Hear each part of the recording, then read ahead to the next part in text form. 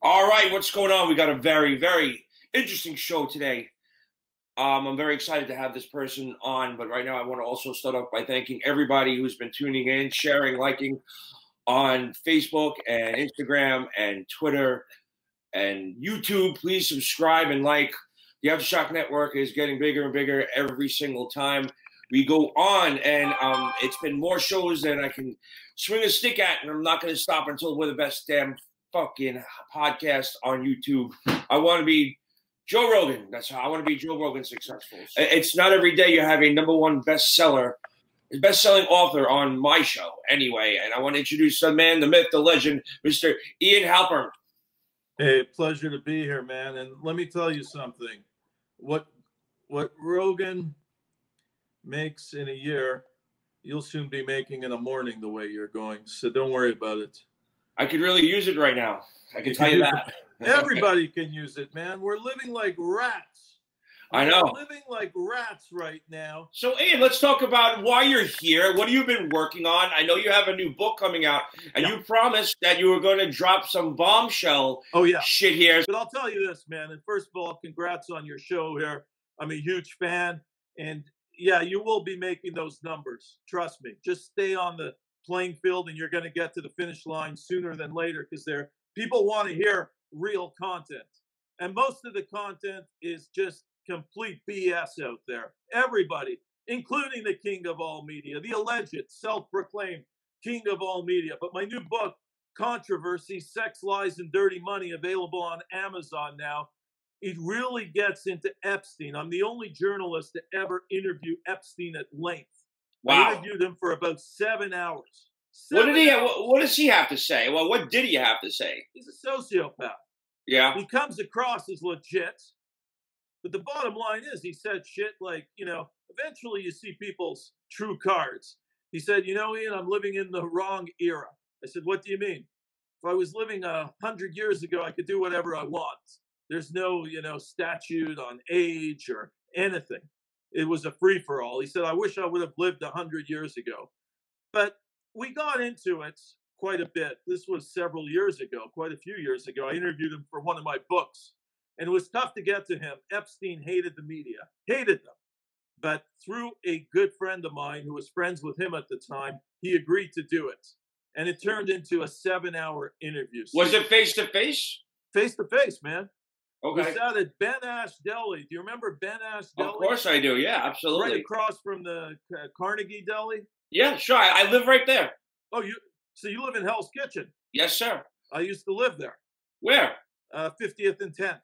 I live. Uh, uh, I'm not going to give out. I was around the corner. Well, give out the address. Nobody. Just I live me. 50, 51st and 9th. I love that area, man. Yeah. It, I, but now it's become a bit too commercial. Like even 15 years ago, it was amazing. My favorite part of town. I know it very well where you live. Yeah. Uh, Ninth is one of my favorite, really favorite places. It's a ghost town, brother. There's so many places closed down, I man. know. It's so sad. It, you know, we used to have the Film Cafe. Do you remember the Film Cafe on 45th and 9th? Yes. I used to go there. Yeah. Oh, there were great places. Now, you know, it will always come back. New York's coming back. But in my book, Controversy, Sex, Lies, and Dirty Money, I interview Epstein, and then I interviewed years later all the people connected to Epstein, the closest confidants. And man, this guy was nuts. Ghislaine Maxwell's in jail. She's a complete criminal, Steve Yeah. raped girls, raped boys. She should not be let out. Well, but how come? What? What's going on? How come they're not? They're they're not doing anything with all that evidence and all the people that are tied into this pedophilia ring. Like, I'm sorry, diddling kids is possibly, in my book, worse than capital murder. I, like, I'm sorry, uh, children are innocent. They can't defend themselves. 100%. and and, and they it's it's it's it, they will deal with that damage for the rest of their lives. Okay, These people were professional sex traffickers. Top Yeah. top. This was a sophisticated operation run by Maxwell and Epstein. They were in cahoots. And then you have people like Bill Clinton, 26 log flights. In my book, I out him as taking 61 flights. Epstein didn't log a lot of the flights. That's well. I'm gonna I'm gonna tell you something because there's that controversial picture that there was Bill Clinton in a dress. Yeah. At at Pedophile Island, Yeah. and Gennifer Flowers, who has a show on my network, Yep. she was on my show and told me that Bill used to like to dress up in her clothes. a bit of a cross-dresser. There's been a lot of rumors about Bill regarding that. But regardless of the painting and everything, he was inextricably linked to Jeffrey Epstein. And yet And he's walking around with no problems. Yeah. And there were others, many others. Leslie Wexner, head of uh, Limited Brands, I out him in the book as having a gay affair. He gave, look, he gave Epstein a sprawling apartment on 72nd in New York, the biggest apartment in New York. He gave him at a cheap price. He gave him a mansion in Columbus, Ohio. Those two were deeply involved, and the people I interviewed said they were they were involved in a gay affair. And I have multiple, multiple corroboration from credible sources on that. So I interviewed everybody, everybody, and I wrote the book. But then, along the research lines, because Epstein told me years ago, the only guy who could get more pussy than him in New York was Howard Stern. Really? The only guy, he said, who could get more puss than him in, in, in the Big Apple was Howard Stern. Said, No, this is this is a post Allison, pre horse girl. Well, exactly. Uh, you know, it, it you're that is funny. Um, I'll say this: he was obsessed with Stern. He was obsessed with three or four famous people, Epstein, and really stalked them. He stalked Princess Diana excessively. Uh, back in the mid 90s, he tried to date her, and when he couldn't get a date with her, it was actually him. It was Jeffrey Epstein who made the connection to Dodi Fayed. He was friends with Dodi Fayed. They, he was handling some money for the Fayeds. And he introduced Di to Dodi. So if not for Jeffrey Epstein, Princess Di would still be alive today because she would have never met Dodi Fayed and Wow. uh, ultimately never been in that car crash. So that killed them. And, Do- and Muhammad Al Fayed, Dodi's father, accuses the royal family of murder. And in my book, I outline the forensic pathological details and evidence that Epstein did not commit suicide. 1000%. He was Oh. found unconscious. He was found dead in his jail cell. They found the, the, the like they, they had like hand marks around his neck or something, didn't they? Well, yeah, and the ligature didn't match. There were two ligatures in, but also in the cell, and the guards fell asleep, and all the footage was erased. This was a professional job beyond even his own lawyer says there's no way he took his own life, and an independent forensic pathologist, one of the top in the world, came in, did a study, and said, "No way, this does not look like a suicide." it was a pro job. A lot of people point the finger at the royal family again. Mohammed Al Fayed accused them of murdering uh, Diana and Dodi. And in this case, Prince Andrew, if he was outed for sleeping with underage, it would have taken down the royal family. This He was out there, but even if you watch The Crown, he was into some weird perverted shit. Oh, I I interviewed probably around 16 ex-lovers of Prince Andrew in the book, on the record, most of them. And you know, I spent years researching this book, Controversy, and they really outlined what type of a sick puppy this guy is. Yeah. So now Howard and Epstein, they were friends. They hung out. No. Epstein said on the record, he said, "Look, I he, he admitted it. He said I stalked Diana, and I also stalked Howard Stern, and later on Carla Bruni." Do you think? Do you think Howard was down at, on the island at all? Is that something that happened? Did he fly down there? No, uh, I, I doubt it. Howard used to not even get out of his basement except to go to the studio. So, so, so how was he? Howard How was was he saying? How was he saying that he got more pussy than anybody else? Because he's a germaphobe. He's he does. He's an agoraphobic No, guy. He he said doesn't like. the only guy who could get Oh, more Okay. pussy than me in New York's Howard Stern because he said, look, Howard's famous. He has strippers, porn stars in the studio. Was nonstop. I don't know how Howard survived the Me Too movement. Siri, he escaped the Me Too movement completely because with all the racist things and the blackface and all the strippers and the hoes, come on, man. Me Too would have had a festival with Howard, but Epstein said he stalked Howard. He admitted it. He was openly, and his cohort, Claude Pepe, his right hand man, said, Oh, yeah, he knew everything about Howard. In fact, Claude Pepe claims, I've never seen it, he claims he even got, Epstein even got into Howard's computers at home and has some really revealing photos of Howard jerking off and, uh, you know, photos of his penis. I've never seen them. But that's what his right hand man says. So it's eh, you're saying that this guy's got got into Howard's computer and found like him uh, pictures of Howard masturbating. Yes, that's what he said. So, but you've you've seen no physical evidence of that. I haven't seen evidence, and I didn't put that in the book because you know I really just go on credible So, corroboration. And What's what's what's in the book that is gonna like make people go no fucking way, and then you have proof for it? Well, first off, okay, because my last movie, I direct a lot of documentaries. I'm driving in LA one day and I hear Roger Waters. My father's a Holocaust survivor. He hit in a hole at age six, and he only, you know, everybody died of starvation but him, his whole family. And I'm driving in LA one day and I hear Roger Waters, Pink Floyd leader, say, Israel's worse than Nazi Germany. I almost drove off a cliff, man. Are you Jew? Are you Jewish? What's that? You're you're you're you're, you're Jewish. You're I'm Jewish. okay. son of a Holocaust survivor. So I almost drove off a cliff. You know, when you're the son of a survivor, man, it's not easy.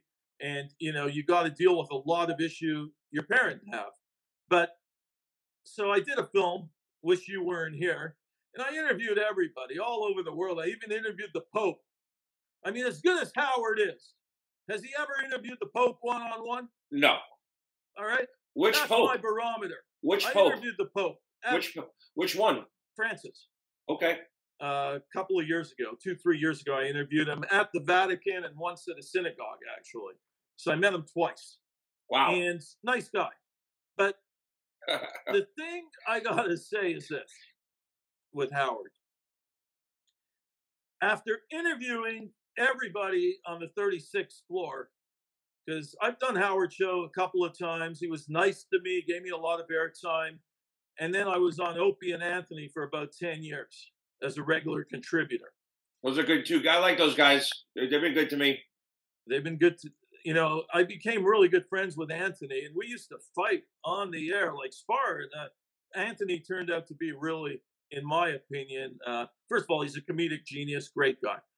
I And- started. I I started a fight between me, or no, no, Anthony Cumia and Jon Stewart. Uh, but we, I, I, Artie was playing Caroline's, so I went to Caroline's to see Artie, and Anthony was there, and Artie show, uh, shows me in a taxi. We're going down to the Comedy Cellar. Let's go. So of course, uh, who, who's not going to jump in a taxi with Artie Lange on, a tear? You know. so we go down to the comedy cellar and everybody knows like a lot most of the comedians are upstairs at the bar and so jon stewart's there and anthony's sort of sitting behind me and jon stewart i i was like i've known john since i was like since he's had his first first show it was like on channel 9 Yep. and I, I had gone out with him and his crew some i knew some of the writers there so i know john and him being a stern fan so i went up and i said hey john what's up i don't know if you remember me steve grillo and he's like, "Oh my God, Grillo, yeah, how you doing? How you been?" I was like, "Nice to see you." Then Anthony gets up and he shoves his hand, like, like shoves his hand in John's face, and he's like, "Hey, man, what's up, Anthony?" And he's like, John's like, "Anthony who?" And he's like, "Cumia."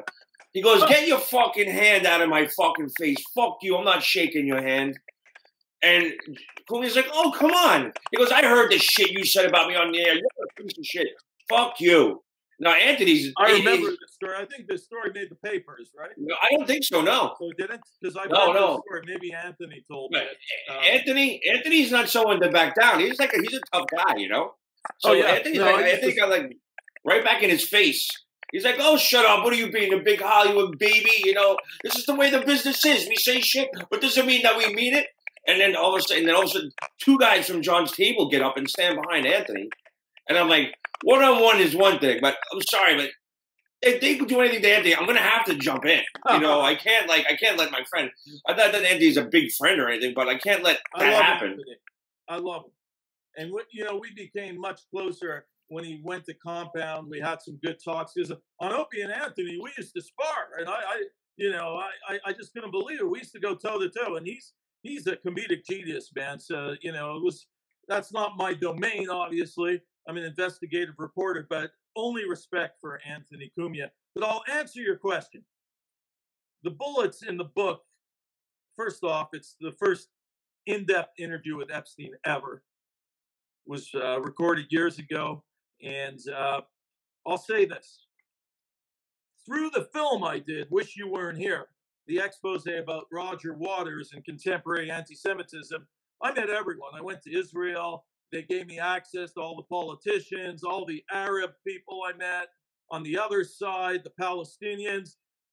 And what I discovered along the way from Secret Service people, because I interviewed a lot of them, was the name Jeffrey Epstein was not only linked to the Mossad, he was in bed with the Saudis, with Mohammed bin Salman, huge, huge friendship there. In fact, Epstein even carried a Saudi passport.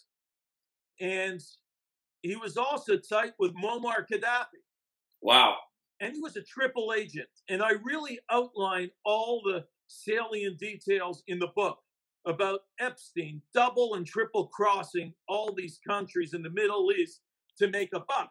And Jamal Khashoggi has been in the news recently, and that's in my book. so, but, was, but those Arab leaders, uh, those those Saudi princes and stuff, don't they like treasure young virgins? Isn't that like one of those things that he well, was probably providing for them? Well, actually, it was on the uh, on the flip side for Epstein giving information to bin Salman. bin Salman was giving him cash and a lot of virgins, and some of them flew to his island. It's all in my book, man. But when we get to Stern, there's a lot, you know, Whoa. because I I started the Stern Odyssey a few years ago, and I pitched it to my publisher Simon and Schuster and they usually take my books. I don't think they've ever refused a re- proposal from me. And I sent the proposal, and I got a call back from the publisher. And she said, Ian, we can't take this. I said, What do you mean? This is a great book. In fact, the New York Post always already announced that I'm doing this book. They said, We can't take this. And she said, I said, Why? She said, Well, you know, I'm very close to Beth Stern. I publish her books. And also, we have an option on Howard. This was before Howard comes again. Uh, yeah. book came out. So I said, mm-hmm. "Really, you're going to refuse it?" I've had a great relationship with you guys. I've written a lot of bestsellers. We've never had a problem. You know, I do my research impeccably, and that was it. That was the last time I ever heard from Simon and Schuster, and I've been with them a long time. And Howard essentially cost me my job. I'm sure they phoned him showed them the proposal, whatever. Oh, no doubt. It, and that's it. So flash forward, the book finally comes out now, and there's a lot of stern stuff in there about, you know, a Sinatra wanted to whack him out because he was doing all these Sinatra skits. Oh my God, that's one of my favorite skits ever. Frank Sinatra's got Alzheimer's and yeah. he's singing the blues. Sinatra was pissed off to the max. Wow. He phoned his contacts in the mafiosa and he put a hit on Howard years ago. He actually wow. put a hit on him.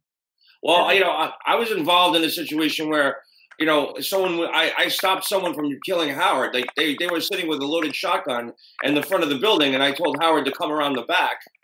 And the guy was if he would have pulled in the front that morning, the guy would have killed him. Wow. See, there you go. And how, Howard and Howard has bullet. He had bulletproof glass at CBS, right? Um, I don't know about CBS because I wasn't there, but because I, I, know I know he you know he does have a gun permit.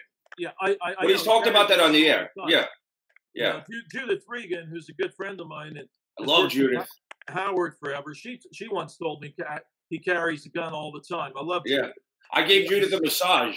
Yeah. I had to, I had to I had to drop off some paperwork over to the office, and she's like. "Come here, honey." And she's she's hot, you know. Like she's, she's, like she's like, come here, honey. Just, my back is killing me. Do you mind rubbing my back? I was like, sure. Judith is very hot, but you know, Judith is a friend. I have the same birthday as her, August seventeenth. So you know, we've gone to karaoke, we've gone bowling. I love Judith. Please tell her I said hello. I will, and she'll know, remember me. another icon in the publishing business. But I'll Yep. say this about Howard. What I conclude, we've read all about Ellen, Ellen DeGeneres in the news, being out of whack with her staff and sexual things there, just craziness, and she survived. You know, I thought Ellen was toast last summer, but somehow she talked her way out of it and she's still on. But Howard Stern is in the same league emotional terrorism, abusing his ex staff, the people who got him there from nothing, who built him out into a powerhouse. Powerhouse, man. People like yourself, Stuttering John, Jackie, Scott the engineer, the legendary Tim Sabean. All these people got him to the top. Gary Dell'Abate making under a million a year. Robin, people think Robin makes 25, 30 grand a year, th- 35 million, excuse me, 25, 35 mil a year. She's making like 2.5 a year. And Howard, Howard's laughing to the bank, to the bank, and leaving everybody sc- scrounging for crumbs. How much does he need, Steve? Really? Well, I said this before he even got the half million, half of five hundred million. You know, I said uh, if, if I thought about it, and this again, this is before Sirius. I always said that he's got more money than his kids, kids, kids could spend. Because if you think about it, from the beginning of his career, um, say up until before he went to Sirius, when he was still on terrestrial radio, he had one house that he bought probably with his first paycheck. It was a nice house in Long Island. It wasn't like a giant mansion, but it did have a tennis court and a pool, and it was a beautiful house. But it wasn't too extravagant. He never went anywhere, never bought anything, never did anything extravagant, and so think about how much money he was making he for all those years. Did All those monies. To, did he donate to worthwhile charities back in the day? Well, I'm sure if he did, he would have bragged about it uh, at, to, to no there end. you go. So he would, but so think all that money he made for those 20, 25 years where he was making 10, 20 million dollars a year, plus the books, plus the movie, plus the pay per view. He was already had enough money that three generations down the road could not spend that money. On top of the fact that he goes to Sirius and they give him a half a fucking billion dollars. And all the and all the stocks that he had in Infinity Broadcasting and everything else that he probably invested in. I'm sure he has a shrewd broker investing his money. God knows whatever you think he might be worth, it's probably tack on another billion. And you know it's the saddest part of all, Steve? Which I say in the book, he's still fucking miserable. Yeah. Miserable. Yeah. Miserable. You know, you got to play big. You got to live to enjoy it. Yeah. But Howard Stern, with all that money, has he helped homeless? Has he helped people in dire need of food, of health issues, cancer, this? Where's the money, man? Is it all in his stashed in his closet? It's like that scene from Breaking Bad. It's it's, it's in a locker somewhere. It's exactly. It's in a giant swimming pool. As you say, he doesn't go out much. Yeah, he goes out to the restaurants in the Hamptons, Bobby Van's, whatever. You know, the guy is honestly quirky, yes, talented, yes, but motherfucking cheap, yes. If you see like Stuttering John making maximum 85k, how can you survive in New York on 85 And then and then they, they get mad when he goes to get a job that's offering him three times what he's uh, making, and they can't match it, and they get mad for him leaving. Well, look what happened to Artie Lange. Artie Lange was being pursued by the Late Late Show, and Howard shut it down. Well, that happened with Quivers, and it also happened with Fred Norris. Robin Quivers was supposed to have an Oprah type show, and they did a test pilot. And I know how talented Robin Quivers is, and I know that's something that she would have been great at. Yep. That disappeared. Coming off of the success of Private Parts, Fred Norris was getting acting roles left and right. That went away. Stuttering John and both Fred Norris are two talented, successful musicians that that have two albums that I listen to to this day, where Yeah. I know every word to every song, but there was no help in ever promoting that for them. Here's a little tidbit of information, a little little piece of trivia that not, not many people know. The- Who is the opening act of the very first Ozzfest? Was it Fred? It was King Norris, Fred Norris's band. They, if you look at the lineup, the very first act of Ozzfest Yeah. was King Norris, and I, I only happen to know that because I Fred got me tickets. I flew out to Anaheim, Very California. talented. My, ridiculously talented, like Stevie Ray Vaughan. Supposed to boost the people who got you there instead of bringing them down like desperados, like dogs, keeping them down in the gutter. Come on, Yep. Howard. You can So do what- better than that, Howard. I know you're watching this. I know you're watching this, and I'm telling you to your face, to your face, Howard. Shame on you. Shame on you. We're not afraid of you, Howard.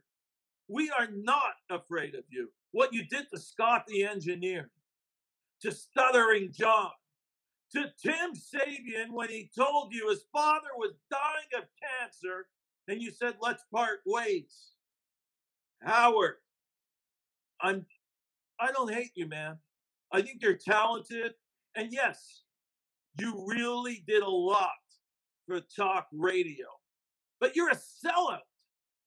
You used to take on all the celebrities, but the only thing you wanted to do was be part of them. And now you're masturbating, baby, on their left fucking leg. And you're miserable. You're miserable, man. You know, the rumblings are the marriage isn't as, you know, Romeo and Juliet as you think in that household. There's been Yeah. a lot of fireworks, my sources say.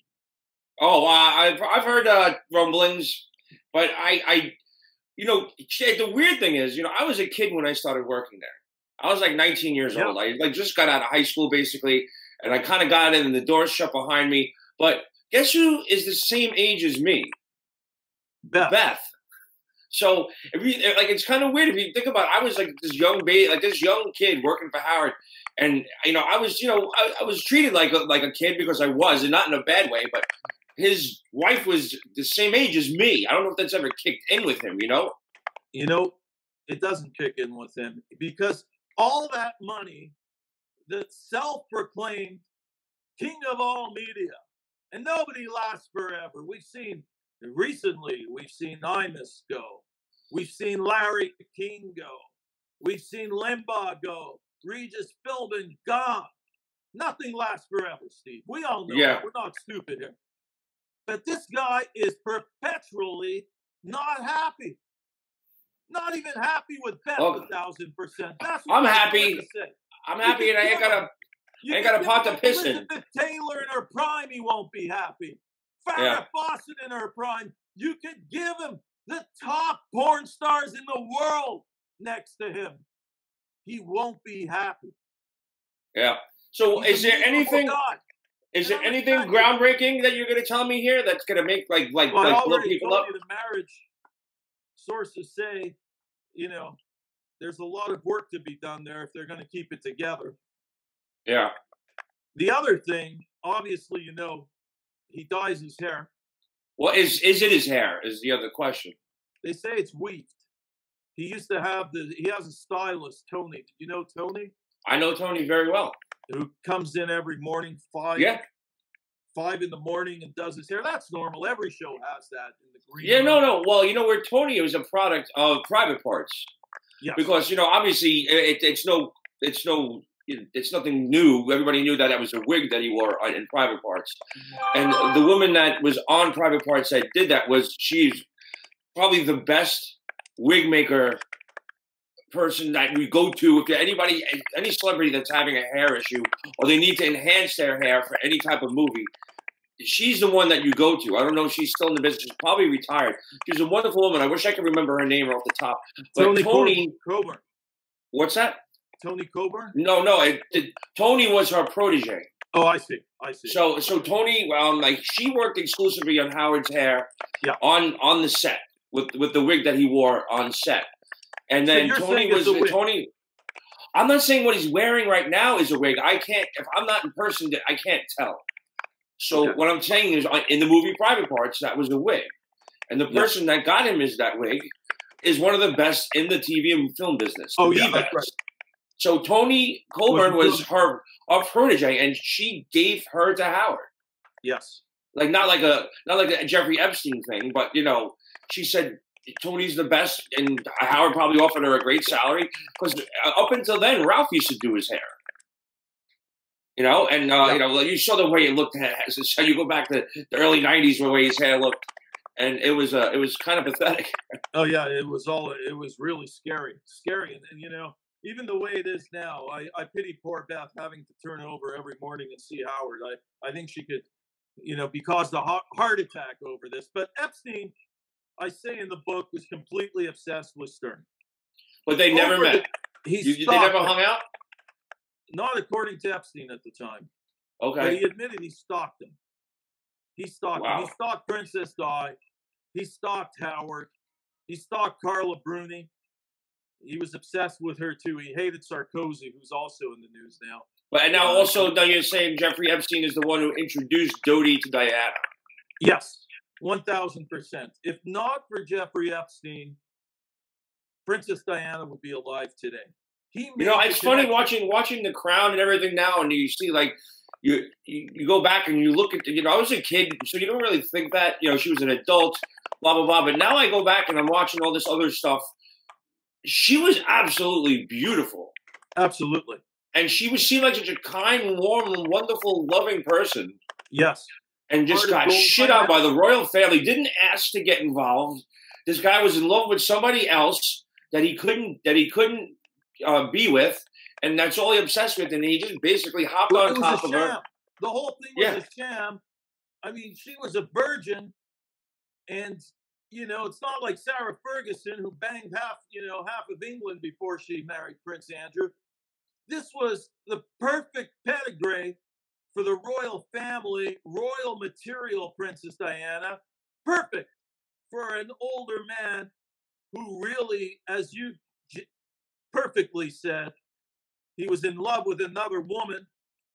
And the whole marriage was just, again, for the royal family to profit shamelessly. The royal family, seriously, and I'm not saying this lightly, they make El Chapo look like a straight guy. Yeah, I'm sure. And you know they, they all worship her too, which is kind of pathetic. Yeah. You know, So you look what's going on with Harry and Meghan now. Why did they leave? They left for a reason. yeah, They saw through the whole scam and they Yep. wanted to get the fuck out of there, man, because Yep. they knew Well, he's would not gonna be live king. Miserable lives. yeah, yeah. That that old witch won't fucking die anytime soon. She'll outlive everybody. Yeah. Well, Prince Philip apparently is on his deathbed now. We're going to see if I Harry saw that. makes the trip to England to say goodbye to his grandfather. But Howard Stern, man, you know, You know, I've got a quick question. Yeah. Do you think the Queen of England wipes her own ass? absolutely. No, seriously, think about it. Did she like, or does she have like a royal wiper of a, wipes her own a, a chamber pot person or something? What was that? That was a, own uh, you know, has probably a fancy toilet there, but uh, you know, oh, I shouldn't have had that asparagus. And, and Prince Philip, hey, he's banged a lot on the side. yeah, I'm One sure. thing- I mean, that's been outed before. That's You think? Yeah, you think that that, that the Queen's spreading her legs every night? Hell no. We're men. We need to have sex. Yeah, the Queen ain't getting it from Philip. They're they've Yeah. been estranged for decades. In fact, somebody told me, I think it's in the book, they have they haven't fucked since like 1977 or something. Do you do you think that she masturbates, or she did at one point? Yeah, of course. It's everybody masturbates. When, when when was the last time you jacked off? Five o'clock this morning. There you go. There you go. It must have been to a chick in the Dominican Republic. It wasn't. yeah. It wasn't to Beth Stern or Howard Stern. Oh no way, no way, not not my type. The two times I met her, she couldn't have been any nastier. Oh, She looked at me like I was dirt underneath the. Because you're Yeah. a legend. Howard Stern, saint or sinner? Um, I think he's a, I think he's a good. I think the bottom line is he's a good dude. Um, I can't say anything in my personal, like off the air, and anything that he did with me because I was there. Pick, I had to pick him up every morning. I had to walk him down every day for, for almost eight years, and he was always so kind and nice to me, um, off the air, and he. I never seen him be mean to anybody else, as far as anybody that came up to him for autographs, and it was pretty much mind blowing when his books came out. The, the amount of people that came out to get the autograph his autograph, and how when the line was cut off and the line went down all the way down Fifth Avenue, wrapped around St. Patrick's Cathedral, came back around. It was on Sixth Avenue, down a couple of blocks. The line was insane, and You Howard. Howard. Howard made sure that everybody that was on that line at the time it was cut off, no matter how long it took him, he signed everybody's book. And I was there for the, and every time he signs people's book, he looked them in the face and said, "Thank you." You know, a lot And of these people, so especially because my experience with Howard was great. I thought he was such a nice guy when I went on his show. He's a nice Jewish boy from Long Island. His parents obviously did a great job raising him, but he was able to find something, a niche, where you know, he, just like every other sick guy, he, uh, the way we think, he was able to do that and make money from it. You know, it's like this. This is basically what me and my friends do when we're sitting around hanging at the bar. We're, we're, we're doing what they did on the air. You know, and he just took it and figured out a way to make money from it. yeah, and kudos to him. But again, Yeah, again, when you look at Ellen DeGeneres, what she did, she should have been let go, fired. And when you Yeah, but she's doing it behind the scenes. Howard was honest. He abused Yeah. you on the like. That's one thing my dad couldn't understand. Mm. My dad's like a quiet, sensitive Italian guy. Nothing like my mother, who's a maniac. So, but that's where I get it from. But my dad's a quiet. And I told my dad, don't listen. Don't tell anybody at the post office that uh, you know I'm working for Howard. And what did he do? He told everybody at the post office, "That's my son." And then, of course, I'm getting abused on the air. My dad doesn't like to hear that to begin with, let alone the guys at the post office are going, Hey, Grillo, we heard what happened to your son this morning. So my dad would come home in a fucking rage. Yeah. Like, why did he have to do that? Why did he have to say that? And I, Dad, Dad, I, you don't understand. He Yeah. does that because people are stuck in traffic and they're laughing, and that's what he's That's getting right. paid to do. It's not Yeah. fun if he pats me on the back and he says, Good job. And you know what, Dad? When he goes, We'll be back right after these words, and he turns that microphone off, he always goes, Man, great job, Grillo. You don't understand that. And I, I used to hide my dad's batteries from his Walkman so he couldn't listen because I knew he was too cheap to buy new batteries. Look, I, I balanced the book. I say he's a good guy. And I say Yeah. he's a look. He revolutionized talk radio and what what he did with satellite. Kudos, kudos. But Yeah. still, and I'm asking you this: Is there any difference in a workplace between emotional terrorism and sexual abuse? Uh, I, I- think emotional terrorism is bad because you kind of take that home with you. You take that home with you, it kind of sticks you. It's battling, it's coming at you for who you are.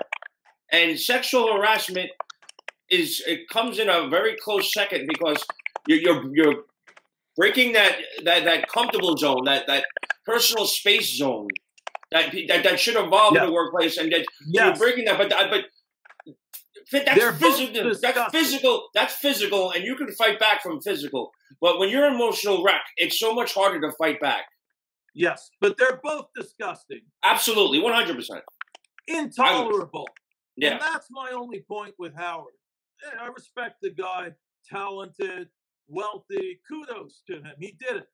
But still, when he tells Stuttering John to abort his child that he wouldn't be a good father in the workplace, that's that's not called for, man. no, I know you couldn't get away with it these days, but it was And amazing that the shit that he got. Stockman engineer, you know, hey, Marci Turks told him you can't. You could do the the GoFundMe, but you can't do it under the Howard Stern banner or that you work here. Come on, man. The Look, I, I said, I said, I said, I said. First of all, he's he's abused Scott more than probably. Uh, Gary is a second close, but he really he, Scott went through some serious shit. He made him wear a fucking thong and walk around with a dunce cap on on you know on Madison Avenue, and he did a lot of shit. And he's also included his wife on the air She's uh, Robin was a sweet woman. She like, and she used to come on the air and do shit. So what it what could have been done, it could have been silent. Could have been quiet. Yo, Scott, give me the bill. I got this. Just don't talk about it. There And- you go. And, And, and it would have been it would have been fine. It could, it could have been just on the DL, you know. Steve, that's my point. When you say he was great to you, he used to pat you on the back, he used to tell you, fine, Did he give me any money? No, but I was having a I was having a bipolar action. Yeah. In a sense, yeah, he's good on one side. Look, El Chapo, man. Maybe he was good to his wife. Maybe he used to cook dinner for his kids, but on the other fucking side, do we give him a pass? And that's what I'm saying with Howard Stern. There's got to be one fucking set of rules in this business for everyone because too many people are getting fired. We're all walking on eggshells. And Yeah. yes, bring it up, set the bar higher. But if you set it for one person, hey, set it for everyone, baby. no shit, no double standards, brother. Can't stand them. And that's it. That's my point. So Howard, yes, nice guy. He gave a lot of people opportunity, but on the other side, he's emotionally terrorizing people like Tim Sabean, Scott the engineer, Stuttering John, many others. Do we give him a free pass? Yeah, well, he's gonna get it because uh, if he got a free pass with the with with the blackface incident and saying he never he, he never Yeah, used the N word, out of that? Yeah, How did imagine- he get out he used the N word so many times. You know what I'm saying? North America, they're going down. Oh, they would have been crucified. They would have attacked them. Never at their house. Black Black Lives uh, Matter would have been. Eh, oblivion. God, Yeah. you're God. Yep. But with Howard Stern, he gets Look, somehow. Look, dude, the richer you are, the bigger pass that you, the bigger hall pass you have. And it's really that simple. He's got, he's a billionaire. You can buy your way out of So shit are like you that. saying that Howard Stern, the self-proclaimed king of all media, is paying off the public? Well, here's the deal. First of all, he's all those uh, media outlets that would normally destroy somebody are all like they're all in cahoots together. Steve Grillo, you're a straight arrow, and I like your interviewing and your technique. And don't worry about Rogan. Don't look around. Oh well, you know he's just a, he's he's the gold standard at this point. That's who Don't you, worry you know. about that. Howard, he was looking around at Inus and all these. You got dizzy, man.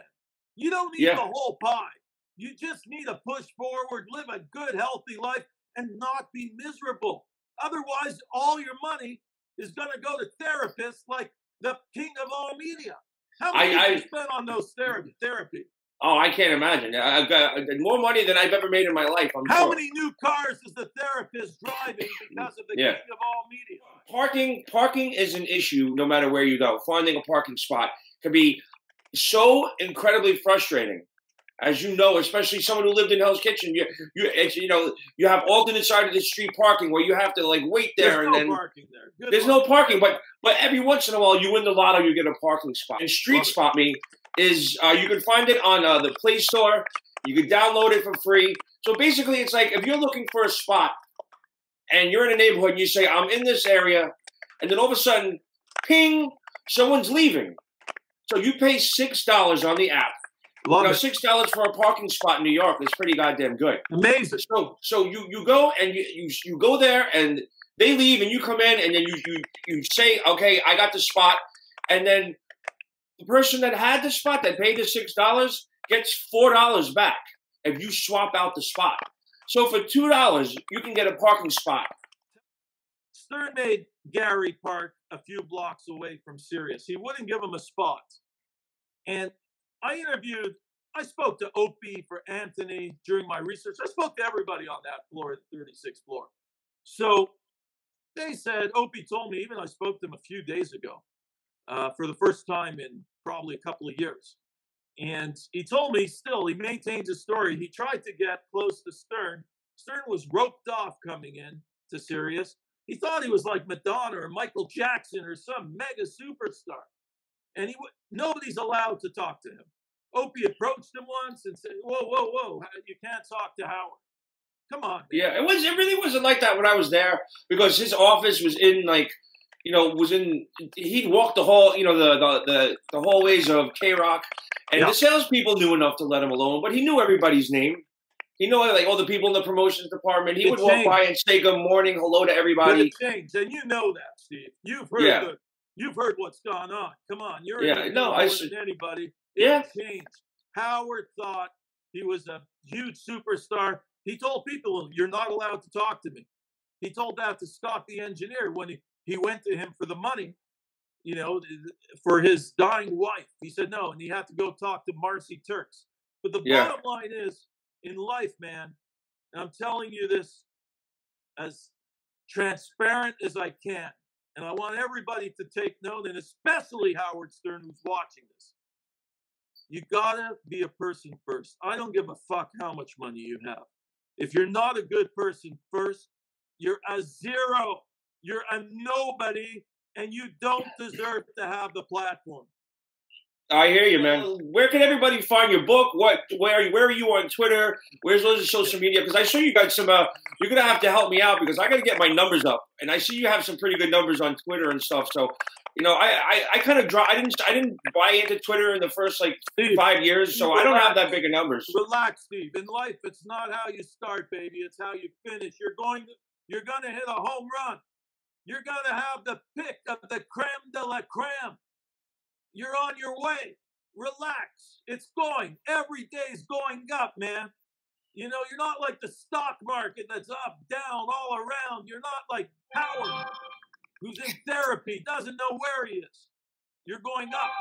You're going up. So just relax. It's not how you start, it's how you finish. And I'll tell Yeah. you, I'm on Ian Undercover on Twitter. At Okay. Ian Undercover. And please drop me a line. I will respond at Ian Undercover. My book, Controversy, Sex, Lies, and Dirty Money, starring Jeffrey Epstein, starring Ghislaine Maxwell, starring Prince Salman, Saudi Arabia, starring the king of all media, is in there. Howard Stern, two chapters on him. It's available on Amazon, and please go get it. I guarantee you, page turner. Every page, revelations, and also my interview with Epstein, seven hour interview. Wow, I can't wait to get a hold of this. Uh, it's going to be a good read. I know that for sure. So, and uh, yeah, everybody, Steve Gorilla at Twitter, Gorilla Vader on Instagram, and everybody can find the Aftershock XL page on Facebook. I accept everybody unless you're a jerk, and then I kick you off. Steve, Same goes with anything. arrow, man. A straight I- arrow. I, I, I, that's that's a compliment to me, considering that I, you know, I, I, I I'm an avid bow shooter. I, I have a nice bow, and being a straight arrow is a good thing in my book. I appreciate that. I appreciate Straight you coming on. One last question. Yes, sir. When was the last time you spoke to Howard? Uh, a couple of years ago, America's Got Talent. I went to one show and Ralph wouldn't let me go up and talk to him. Ralph said, no, don't. So I didn't. But then Ronnie found out, I guess later on, Ralph and Ronnie were all together. And Ralph told Howard that I was there. And he got mad at Ralph for not telling him that I was there. And why did you tell him not to come over? So the next show that I went to during a commercial break, I went up to say hello to him. And yeah, you know, last time he saw me, I was probably like 28 years old. Now I'm like 43, 44. So it was a good 20 years. And he was like, oh my God. He's like, "You- you're not a little kid anymore. You're like a grown man. Because I had like a long goatee. And I, I congratulated him and told him I thought he was doing a great job and I was happy for them. And then they, they were coming back at a commercial break. So he was really genuinely excited to see me and Will was happy to see me. Today? No, especially after all the shit that I've been saying about him. You know, I don't. I don't say he's a bad guy, but I, I will tell the. tr- I will tell the truth. Uh, do you still have his number? I never had his number. Never had his number. Never had his number. I had Robin's number. Um, uh, I had Gary's. When was the I last time you spoke to Robin? that that one's kind of painful because I did. I, I- you know, it was right when Marci Turk started, and they came out in the paper with all the Marci Turk stuff about how she's running game and everything, and how Yeah. he's turned into someone else. And I was uh, at Comic Con with a good friend of mine. She's a comedian, Stacy Trussman, and she couldn't get on the, the Wi-Fi, so she I downloaded I downloaded Periscope, and I went on and I was kind of had a couple of cocktails at the bar before I went, so I was feeling a little loose.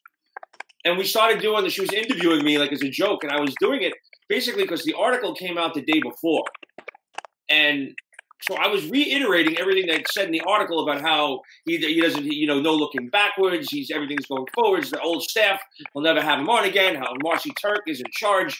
How Howard's become the person that he used to make fun of. So I was reiterating the article sort of in a joking way, and I didn't know somebody on Periscope just happened to be working for uh, Radar Online. Yep. And Radar Online did a whole big piece about what I said. So like the next day, all of a sudden, I'm getting like all these alerts. My phone, people contacting me. I'm like, what the fuck is this? Someone, sent me the article. And I'm like, Radar Online. And I turn to my buddy Roy and I go, what's Radar Online? Is that a big deal? He goes, oh, only to It about two to three million it used to people a day. Owned by AMI. It Yeah, used to be so- Um, so I was going up to meet Robin for lunch, and I was up at Sirius, and she was going to bring me back into the office, and she goes, "So I'm in the lobby waiting for her," and she comes out and she goes, "Did you do an article about bashing Howard?" I was like, "What?" She goes, "Did you do something for Radar Online?" And I went, "No, I was goofing around on the radio. I was goofing around on my friend's phone, and they picked up a, a, a stupid thing I was doing." Okay, I was like, I didn't know. She goes, "Well, you in. No, she goes, you're banned, and she like shut the door. And that was the last time I spoke to her. So don't you, here- we go. You just hit the nail on the head. But she's she was like, I was, I was out of, culture there. out of everybody on that show, she was my closest friend. Ever banged Robin? No, no, no, no, no, no, no. Never attraction there. Just we were just always very good friends. sure. Just We went to we yeah, hundred percent. No, I do like women of color. I have no prejudice as far as the way beauty goes, but that's nothing that I would. Uh, and she was like a family member, kind of. It would have been weird and gross and awkward. But um, no, we used to go to the movies like at least once a week. She'd take me out to lunch. She'd take me to the theater. She'd take me to dinner. You ever We'd hang out and house? watch. movies. You ever sleep? No, I never. I never, never slept at her house. But I used to go over her house all the time and watch movies. Just chill. We'd go and chill out and hang out. So who So, was uh, Robin all these years? It's funny you said that because like I remember, you know, she she was like celibate for so long, and I know her. I know her. I know her so well because I, I I did the news for her every day too. I I did everything for everybody. Was she in and- the closet? No, she wasn't in the closet, but you know, I think she had certain health issues, and she was on Yeah. medication, and she really. So one morning I came in, and uh, she's like, "Good morning, Grillo," and I go, "I said, yo, Quivers, did you get Yeah. laid or something?" She goes, "I did, I did. Don't tell anybody." Like we we, we, we always had the "don't tell anybody" thing, where if if we had that lock, if I if she said "don't tell anybody," we we didn't tell anybody. We had secrets, both of us, and she was dating. They called him Mr. X, and um, she's just started dating him. It was an old boyfriend from back in the day. They re they got back together, and uh, they started, you know. But I knew right away that she got laid. It was like so weird.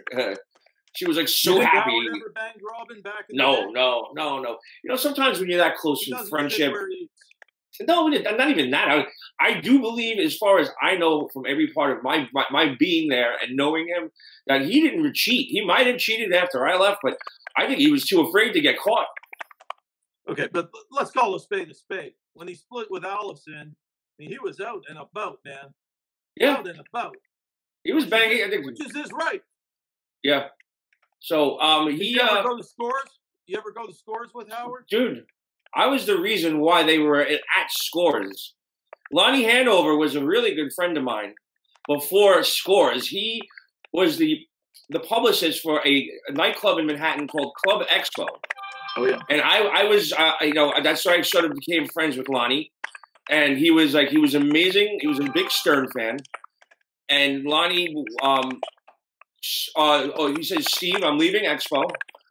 I got this new job at this high end strip club, and he, it was like it's, it was. I lived on 61st Street. It was on 59th Street. I lived on 65th Street. It was on 59th Street. It was right underneath the 59th Street Bridge, and I lived so close. And Lonnie said I took this job with one stipulation that I have carte blanche with the whoever I want to let in, and what I don't. I, I, there is no ceiling to my, you know, how much money I could spend there. So I would go every night because Lonnie was a friend and he knew I was a broke intern. he would go and call me up and say, "You coming down?" And I go, "Oh, Lonnie, I didn't want to take advantage." He goes, "Steve, I told you, it's uh, it, it's, it's I, I, I, I could spend anything." I said, "I know, but last night you took care of me. I don't want to." He goes, "Steve, I already ordered you a filet mignon. You better get here before it gets cold." So of course I go there. I'm drinking for free. I'm eating like gourmet food every single night, and uh, I would go there because I was a sick maniac back then. I don't, I couldn't do it now, but I was basically living on two hour naps. So I would go out to Scores until like maybe one, two o'clock at night. I go take a little two, two hour, three hour nap, and then I'd go to the radio station, and I'd still be half in the bag. You know, and Howard would be How, like, how many strippers did you bang at scores over the years? It wasn't that many, man. I got more laid from doing an off Broadway play than I did from. I didn't have that game that I should have had. You know, I when I was doing Grandma Sylvia's funeral, I got more chicks from that than I did at Scores. But I'm not saying I didn't bring home a couple of them. I, you know, I did. But um, so I would go tell Howard. I was like, Howard, you don't understand. This place is mind blowing. The girls are like they're like top ten. They're like top models, and they're, they're they're gorgeous and they're friendly. And it's such an amazing place. And then you know I would tell them, and then finally I got Gary to go and John to go, and they'd come back and they were like, Howard, yo, you got to we got to go to this place. So it wasn't until the Fred Norris came back from a summer break that he went and got married over the two week vacation and came back and Howard was mad at him because there's a blown opportunity for a bachelor party. So Lonnie called up and was like, "We got the bachelor party." So the first time that Howard ever went was because of me. And Lonnie called me up and was like, "Tell him I got this." And we, we he goes, "We'll open up during the afternoon. No one will be there. I'll have security." And we walked in, and there was like originally like six or seven of us, and like thirty girls, and I like filet mignon, lobster this tail, was like like the every, best buffet ever. yeah, yeah, and and he handed Gary Dell'Abate twenty five thousand dollars in funny money, Wow. and basically Howard. After that, it was just legendary. so Howard Stern was he going in the back room at scores? No, no, there wasn't. We were in the VIP room, but I didn't see anything going on. You know, but but it was like there was no private area. I didn't see any like there was. I never saw him leave and go to a private area. Everybody was in the same room. Was he just looking, or was he getting dances? Like, come on. You might, you know, he had his sweatpants on. Who knows? Maybe he came in his pants. I don't know. I I don't want to know. I don't give a shit. I, but you know, um, it was some of the best parties that, that I've ever been to in my entire life. I'm sure it was a great time. So, because of you, Stern started frequenting scores. Yeah, and um, the guy who wrote the book on scores, because I've been telling this story for years, and uh, my buddy Roy wound up, you know, reading the book, and the guy mentions it. He doesn't mention my name in the book, but he goes, "Our publicist had a good friend that worked on the Howard Stern show that used to come in, and that's how." how so in the book, it's actually confirmed Sure. through Lonnie Hanover, and it's all Lonnie. He knew that. He knew eventually Lonnie was a good friend, but he knew that he didn't have to ask me to tell Howard about it. That I would anyway. And you got the royal treatment there. Every unreal. single time I walked in the door, I could walk in with ten people, and I would be. All my friends were like, "Oh, it was kind of fun, like having like kids I grew up with, like from grammar school and shit like that." Like, oh, we'd all. I remember one night I, we all went out, and they were like, "I can't believe that you, of all people, dude, they just opened up the door. We get drank for free. We're in the VIP room. Holy shit, Steve! You know, like these old people I grew up with. That was like, I like, I was like, yeah, that's right. That's how I do. You know about the strip clubs? I gotta say, man, it's so smoke and mirror. Because really, if we turn up the lights, let's see what we really got here. Let's see what we really got. How quote unquote hot these girls actually are. And I wonder, it would be very interesting to see how many years ago was this when you started going? Probably Howard? 1995. Okay. So wow, that's a long time ago. Um, wow. It would be interesting to see those girls today, how they look. Yeah. No, it well, would be listen. so interesting. Well, you know, a lot of them. Well, it, no, I think it would because the way the the way the the healthy culture that goes on today and stuff like that. You know, these girls probably they all took care of themselves back in the Yeah. day. You know, so they they're probably all health conscious and shit. Uh, Really pleasure having you on, man. This was this was really cool, and uh, much success to, to you and your book. And uh, I'll get your number. We'll stay in touch. Maybe we'll go to the DR together. No, I want to go to South America with you. Ab- Oh, it's the best. Thank you, All right. brother. All right, bud.